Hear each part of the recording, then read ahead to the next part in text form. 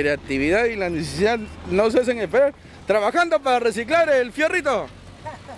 ¿Cuántos años, maestro?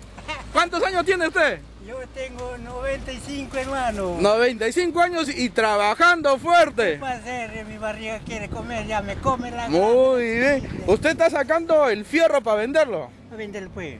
Pero es un trabajo muy, muy fuerte. Pero, pero necesito tapar más que en el cartón, papito. Ajá. El ¿Y usted tiene familia, tiene El hijos? cartón son 30... 30 céntimos por kilo. Kilo, pues. ¿Tiene hijos usted también o no? Mi hijo la trabaja, pues, pero lejos. Y con cinco hijos. ¿Usted tiene otras per- personas a cargo aparte de usted? Yo, yo soy solo. ¿Solo? Sí. Solo, muy bien. Han sido cuatro hijos. ¿Cuántas horas al día trabaja usted? Ah, ¿Cuántas horas al día trabaja? yo hasta la hora que sea.